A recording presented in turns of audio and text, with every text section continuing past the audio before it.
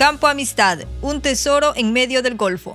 El gobierno del Ecuador no descarta importar gas natural para paliar la crisis energética, pero ¿qué tan conveniente es esta decisión para el país? Parece que no es un buen momento para esto, pues nuestro país no cuenta con una infraestructura para su almacenamiento. En el país tenemos una tara mental de que tenemos que importar, cuando casualmente no tenemos el Ecuador infraestructura, no tiene el país infraestructura para importar gas natural. No es lo mismo que el diésel o GLP, que bueno, hay que importar diésel y ya, importamos diésel porque tenemos toda la infraestructura. En gas natural no tenemos infraestructura. Y estos son los típicos fantasmas que nos quería poner Carlos Pérez, René Ortiz, Santos Alvite, eh, Gonzalo Uquilla. Los dos últimos incluso decían que van a tener un perito internacional para que les diga que quieren importar gas utilizando la infraestructura de campo amistad.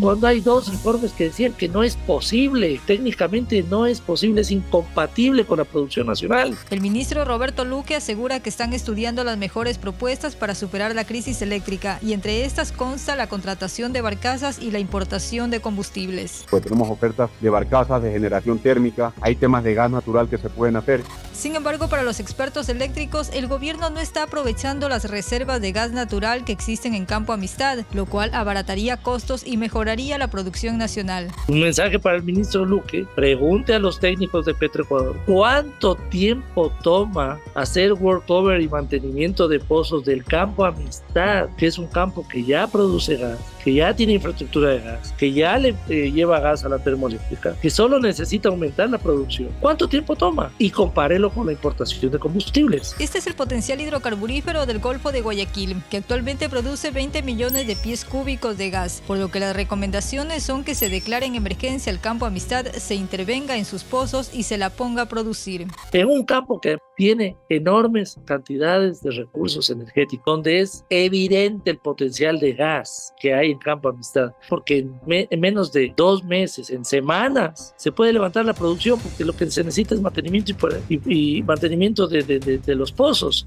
Puede declarar en emergencia Campo Amistad y levanta la producción en semanas. Pero es que además, si usted suma la producción de gas nacional a la termogás, tiene usted un kilovatio hora que va a estar entre 8 o 9 centavos el kilovatio hora versus los 15 o 16 que quiere pagar en barcazas y mientras los 64 que está pagando a Colombia o estaba pagando cuando nos vendía. El ministro por ahora no habla de montos a invertirse en estas contrataciones. Advierte que no aceptarán intermediarios mientras que los expertos le piden inteligenciarse con personal técnico del mismo ministerio. Nosotros ahora estamos trabajando en normativas que esperamos tenerlas en aproximadamente 15 días para que la Agencia de Regulación y Control apruebe de una vez por todas resoluciones que puedan permitir que se importe gas natural como una fuente alterna para generación eléctrica y lo mismo con la energía solar. Sabiendo que hay mejores alternativas, rápidas, más eficientes, menos costosas de producción nacional de gas, nos quieren imponer que es que hay que importar gas porque hay que hacerlo de emergencia. Pregunten pues cómo quieren importar gas. Si quieren importar por la utilizando la infraestructura de campo amistad, hay informes técnicos que dicen que no se puede. Pero supongamos que se pueda. Necesitan por lo menos seis meses de hacer cambios en la infraestructura de campo amistad. No es que va, lleva un barco y se conecta, pues. Necesita cambiar la infraestructura, necesita hacer inversiones inversiones para esto, de altísimo riesgo además. Pero si no quieren importar gas, tienen que hacer su propia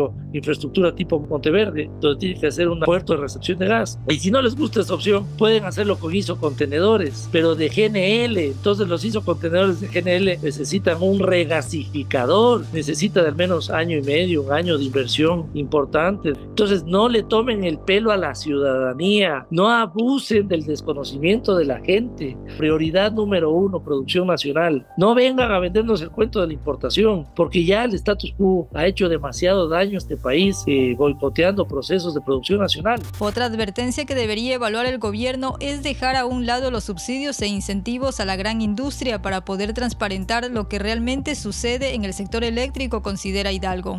Esto es igual al tema de subsidios eléctricos a las mineras. ¿Cómo es posible que sigan pagando 5 centavos el kilovatio hora cuando estamos con esta crisis comprando bar, decía con barca casas y todo esto es carísima. Necesitan hacer temas rápidos, eliminación de subsidios eléctricos a las mineras, por ejemplo, declaración de emergencia de campo amistad. Y bueno, si quieren estar con el cuentito de importación, que, que sigan con ese cuentito, pero la prioridad de país tiene que ser la producción nacional. Desde la explicación técnica, parecería que a unas cuantas millas tenemos una de las soluciones definitivas para el nuevo plan maestro del sector eléctrico a través de la potencia termoeléctrica. Dependerá del gobierno hacer la evaluación Soy Mercy Castro y somos La Defensa. Defendemos la verdad con periodismo.